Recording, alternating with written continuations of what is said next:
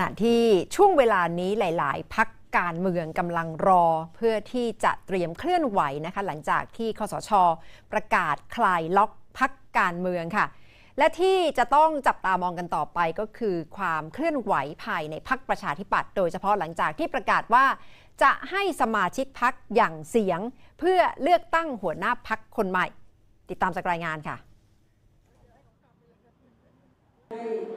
น่าจับตามากที่สุดเวลานี้คงไม่พ้นพักประชาธิปัตย์ที่กระแสอย่างเสียงเลือกหัวหน้าพักคนใหม่ ปรากฏรายชื่อผู้ท้าชิงเก้าอี้ผู้นำพักพร้อมผู้สนับสนุน นอกจากนายอภิสิทธิ์เวชชาชีวะหัวหน้าพักคนปัจจุบัน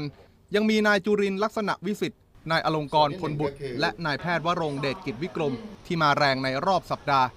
ถูกวิจารณ์ว่าได้รับการหนุนหลังจากนายสุเทพเทือกสุบรรณอดีตเลขาธิการพักผ่านคนใกล้ชิดอย่างนายถาวรเสนเนียมกันครับก่อนที่นายสุเทพต้องรีบออกมาปฏิเสธผ่าน Facebook Live ในข้อบังคับมันจะเขียนว่าให้ที่ประชุมใหญ่ฟังการหยั่งเสียง ส่วนระเบียบการหยั่งเสียงเนี่ยยังไม่ได้มีการทำออกมา เพราะว่ามันจะมีรายละเอียดเยอะ ก็เพียงแต่มีการแลกเปลี่ยนกันว่าจะมีการหยั่งเสียงแล้วเนี่ยจะทำยังไงให้มันอย่างที่ผมบอกนะครับ กระจายโอกาสมีความรัดกุม แล้วก็เป็นการหยั่งเสียงที่สะท้อนเจตนารมณ์เที่ยงธรรมเที่ยงตรง ส่วนหัวหน้าพักคนปัจจุบันเชื่อกันว่ายังมีนายชวนหลีกภัยประธานสภาที่ปรึกษาพักประชาธิปัตย์เป็นผู้หนุนหลัง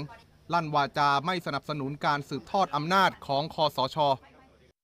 พักอนาคตใหม่ยังต้องแก้ปัญหาทางกฎหมาย นายธนาธรจึงรุ่งเรืองกิจหัวหน้าพักเข้าพบตำรวจปอท เพื่อรับทราบข้อกล่าวหาที่คอสช แจ้งความดำเนินคดี กรณี Facebook Live พาดพิงคอสช เกี่ยวกับการดูดสอสอและกระบวนการยุติธรรม นายธนาธรปฏิเสธข้อกล่าวหา และขอให้การเป็นลายลักษณ์อักษร ผมก็ต้องเรียนว่าอย่างเช่น กฎหมายอย่างเช่น พรบคอมนะครับมาตราเอ่อมาตราเนี่ย14ทับ2เนี่ยนะครับก็คือปัญหา ก็คือปัญหาเป็นการฟ้องในเชิงยุทธศาสตร์ เพื่อที่จะทำให้ประชาชนหวาดกลัว เพื่อที่จะทำให้ประชาชนเงียบไม่กล้าวิพากษ์วิจารณ์ ต่ออำนาจที่ช่อฉนนะครับเราก็ยืนยันว่าโซเชียลมีเดียเป็นเครื่องมือที่มีศักยภาพ แล้วเราจะดำเนินการอย่างที่เราได้ทำมาตลอดนะครับพักไทยศรีวิไลประกาศรับอาสาสมัครประชาชนเป็นตัวแทนผู้สมัครเลือกตั้งสสแบบแบ่งเขต 350 รายใน 76 จังหวัด และบัญชีรายชื่อ 50 ราย